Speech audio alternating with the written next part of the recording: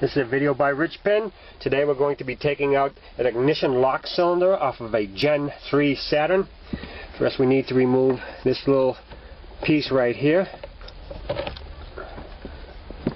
Now we need to remove these covers right here and they're held on by five 5.5 millimeter screws.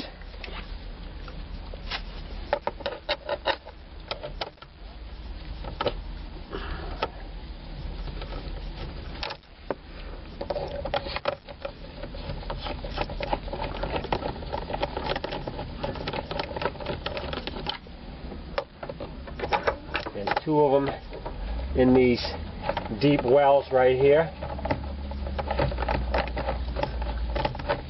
Watch out you don't use an oversized socket and get them stuck in there.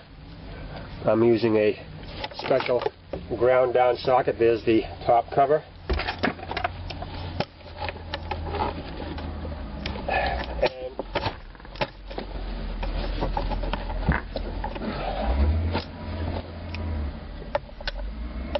And one more screw here.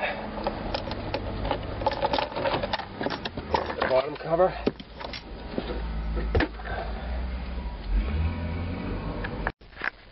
Now turn your key to the accessory position and then insert a small wire in through the hole in the side of the cylinder here.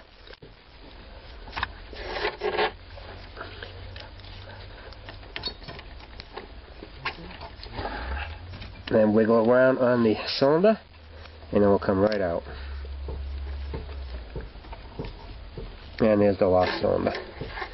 What it does is the wire pushes on this little piece right here and that's the piece that holds the lock cylinder in.